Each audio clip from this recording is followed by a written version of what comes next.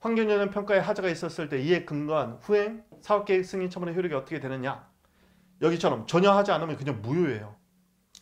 어, 그 다음에 환경영향 평가에 실체상 내용상 하자가 있었을 때 또는 환경영향 평가의 절차에 문제가 있었을 때 다들 분석을 한번 해볼까요?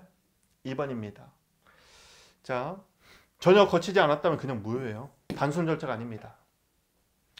환경영향 평가에 실체 상 하자가 있을 때 후행 사업계획 승인 처분의 효력이 어떻게 되느냐? 이 판례가 참 비판 많이 받은 판례예요.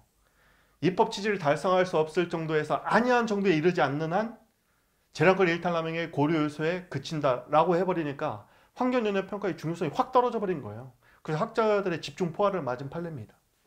근데 아직도 이 판례는 이런 견해를 유지하고 있어요. 문제가 좀 있다고 보여집니다. 근데 환경영향 평가에 단순한 절차 상 하자가 있었을 때 후행 사업계획 승인의 효력에 관해서는 판례가 없어요.